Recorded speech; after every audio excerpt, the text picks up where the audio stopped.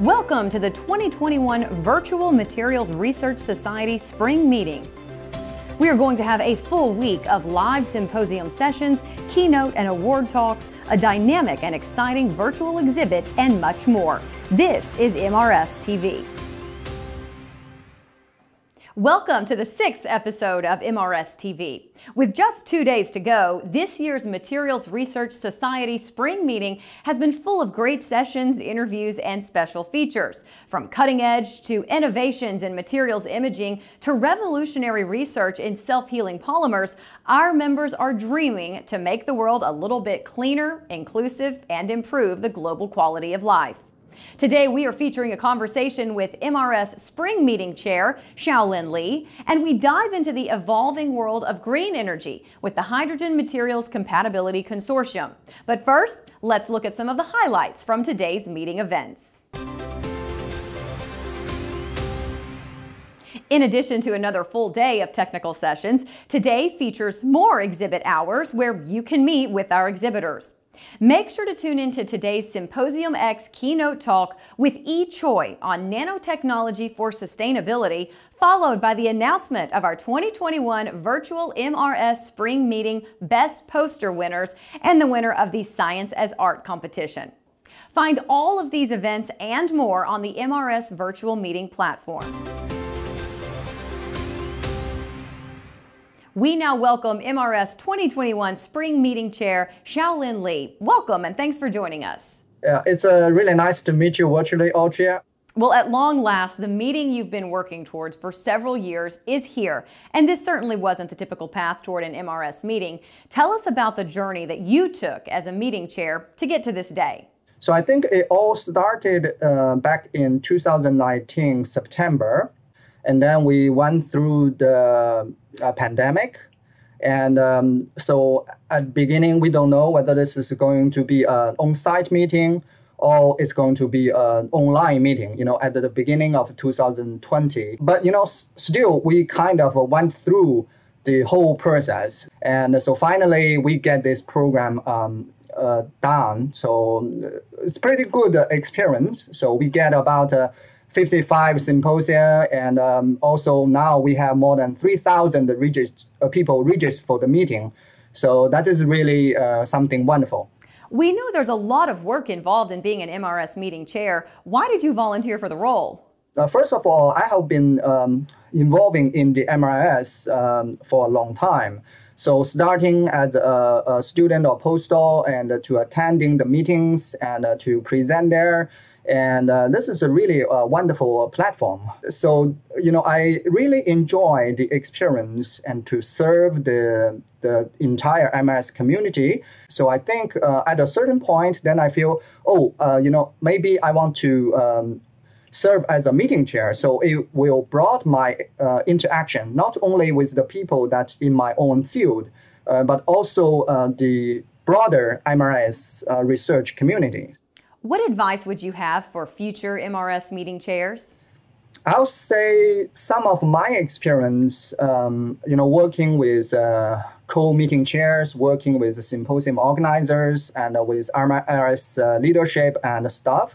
Um, it's, it's, really, um, as I mentioned, it's an honor to serve, and it's also a pleasure, uh, a pleasant experience. And uh, um, also, it's a learn it's a very good learning experience too. So I think uh, I will really encourage uh, people, you know, um, whether you are at your early uh, career stage or you are, um, you know, uh, at your mid career or even late career. So to volunteer and to serve uh, the community is really good.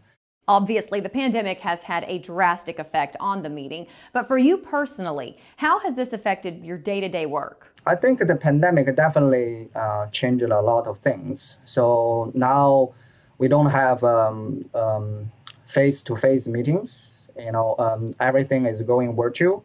Also in uh, life, you know, like a family um, too. So right, so uh, I have two small kids, and um, they are in first grade. Uh, so that's quite uh, th- that's quite some challenge, you know, to manage uh, the work and the life Um, but I, I think, uh, you know, after a year, we have learned and we have improved, um, you know, to, to get used to it. And I think uh, also f- for this meeting too, it, it's, a, it's a challenge, it's a journey, but we make it. Can you tell us what events or topics you are most looking forward to at this meeting? Oh, yes, in the energy and sustainability cluster. So, you know, we focus on the catalysis sustainability and also we focus on the battery safety and sustainability. There are quite some symposiums there. And uh, for the batteries, I want to mention we have a focus symposium on solid state battery and um, on aqueous battery and also on intercalation chemistry beyond um, lithium ion battery. So, and also for the nanoscale material and uh, quantum material uh, cluster, uh, we have two symposiums uh, focusing on the uh, superconductor. Again, thank you so much for your time today. Thank you.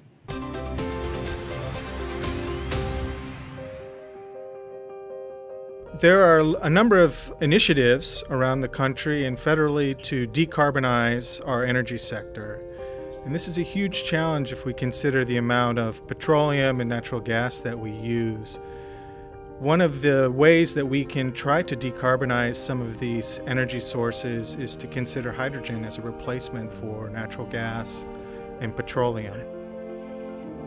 Hydrogen is the future, actually. I think hydrogen has every potential to really uh, revolutionize the whole world and really change the way the world operates right now. Part of this effort to look at decarbonization is something called H2 at Scale, which is a Hydrogen Fuel Cell Technologies Office initiative to look at the potential role for hydrogen in the broader energy sector to support everything from transportation to manufacturing to, to even supporting the electrical grid. And there are a number of different initiatives under um, H2 at Scale, one of which is the Hydrogen Materials Compatibility Consortium called HMAT. In order to have a robust infrastructure, we need to have materials that are compatible with hydrogen.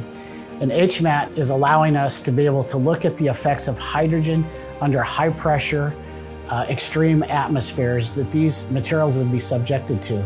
Our program is looking at how we might be able to make these materials more robust and more reliable in our hydrogen infrastructure by understanding these mechanisms that hydrogen play within the materials.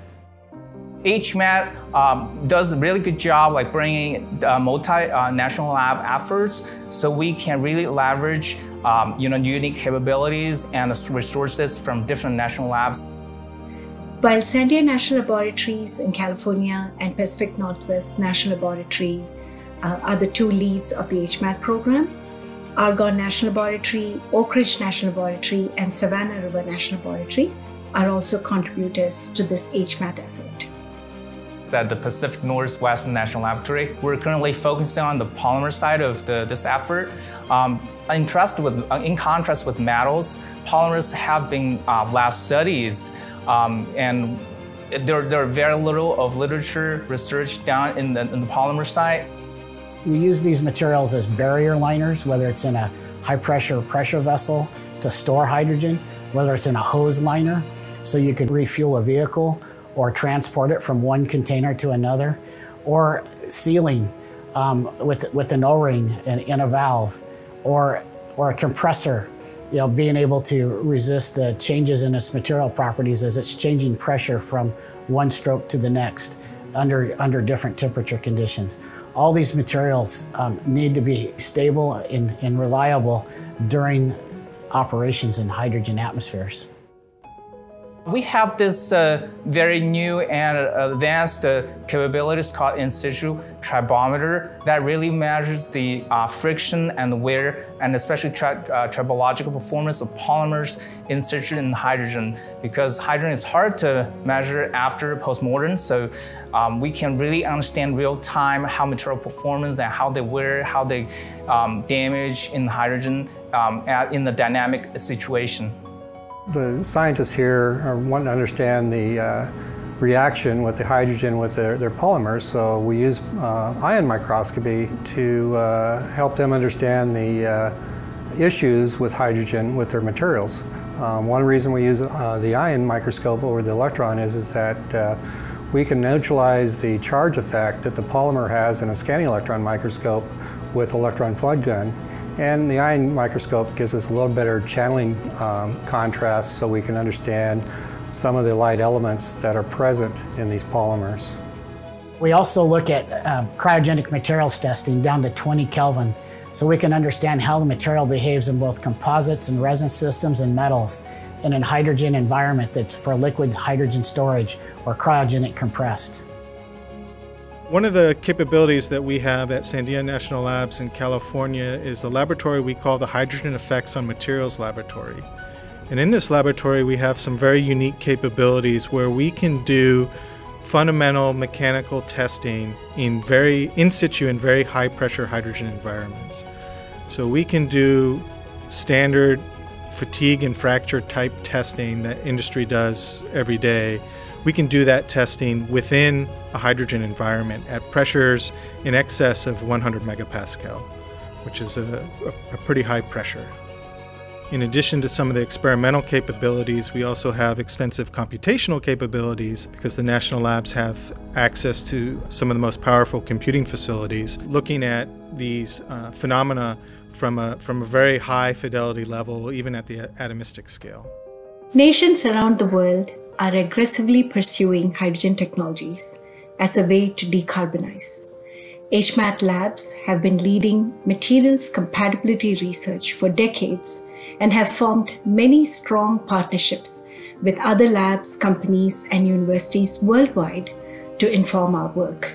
We're always welcoming new partners and want to coordinate our research activities with them since decarbonization is a global imperative.